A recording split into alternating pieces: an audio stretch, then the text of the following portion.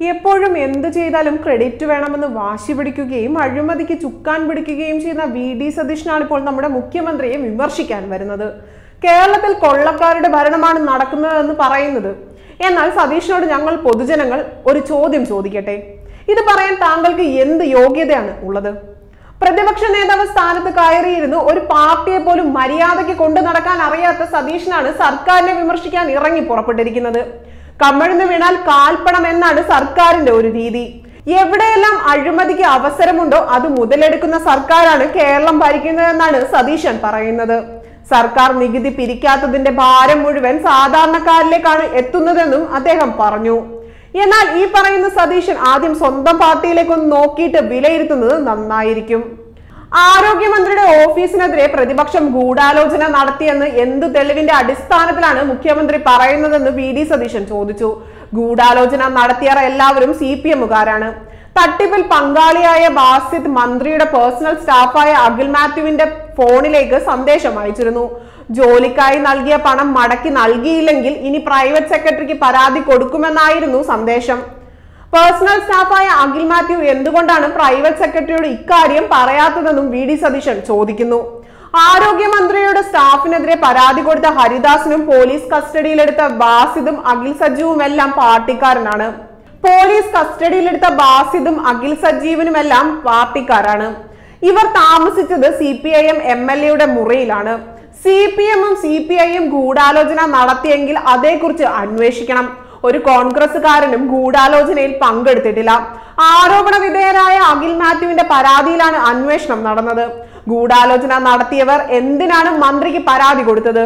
മന്ത്രിയുടെ P A പണം വാങ്ങിയെങ്കിൽ എന്തിനു പരാതി കൊടുക്കണം? എന്തിനാണ് പരാതി പറയാൻ പോകുകയാണെന്ന് സന്ദേശം അയച്ചതെന്നും വി ഡി സതീശൻ ചോദിച്ചു. കരുവന്നൂരിലെ അഴിമതി പാർട്ടി നേതൃത്വത്തിന്റെ അനുമതിയോടെയാണ് നടന്നത്. സർക്കാരിന്റെ കൊടു കാര്യസ്ഥത മൂലം വകുപ്പുകളുടെ പ്രവർത്തനങ്ങൾ അവതാളത്തിലായെന്നും പൊതുമേഖലാ സ്ഥാപനങ്ങൾ തകർക്കുകയാണെന്നും പ്രതിപക്ഷ നേതാവ് പറഞ്ഞു. കേരളത്തിൽ നടക്കുന്നത് കൊള്ളക്കാരുടെ ഭരണമാണ്. കരുവന്നൂരിലേത് ഉൾപ്പെടെ മുഴുവൻ കാര്യങ്ങളും മൂടിവെക്കാനാണ് എൽ ഡി എഫ് ശ്രമിക്കുന്നത്. അവിടെ സി പി എം സംസ്ഥാന നേതൃത്വത്തിന്റെ അനുമതിയോടെ ജില്ലാ കമ്മിറ്റിയാണ് അഴിമതിക്ക് നേതൃത്വം നൽകിയത്. വിവിധ വകുപ്പുകളുടെ പ്രവർത്തനവും അവതാളത്തിലായി.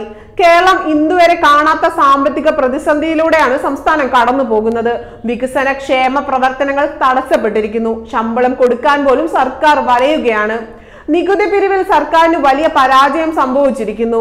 നികുതി വെട്ടിപ്പുകാരുടെയും പറുദീസയായി കേരളം മാറിയെന്നും സർക്കാരിന്റെ ഭരണപരമായ കൊടും കാര്യസ്ഥതയിലൂടെ കോടിക്കണക്കിന് രൂപയുടെ നികുതി നഷ്ടം വന്നിരിക്കുന്നു. നികുതി ഭാരം സാധാരണക്കാരുടെ തലയിൽ കെട്ടിവെക്കുകയാണ്. K S R T C ഉൾപ്പെടെ എല്ലാ പൊതുമേഖലാ സ്ഥാപനങ്ങളും തകരുകയാണ്. കെ എസ് ഇ ബിയും തകർച്ചയിലേക്ക് നീങ്ങുകയാണ്. വൈദ്യുതി കരാറിൽ മാത്രം ആയിരം കോടിയുടെ നഷ്ടമുണ്ടായി. അത് നികത്താൻ വൈദ്യുതി ചാർജ് കൂട്ടുകയാണ്.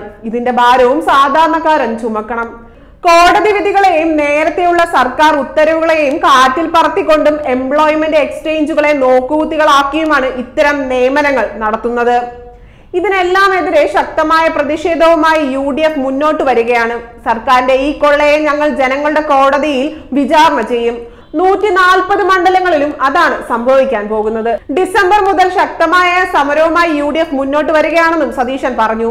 ഇത്രയെല്ലാം പറയുന്നുണ്ടല്ലോ സതീശ താങ്കൾ. അപ്പോൾ നിങ്ങൾ കാട്ടിക്കൂട്ടുന്നതൊന്നും അഴിമതിയിൽ പെടില്ലേ? എത്ര കോടിക്കണക്കിന് രൂപയാണ് നിങ്ങൾ കട്ടുമുടിപ്പിച്ചത്? അതിനെക്കുറിച്ചൊന്നും മിണ്ടാൻ നിങ്ങളുടെ നാവ് പൊങ്ങുന്നില്ലേ?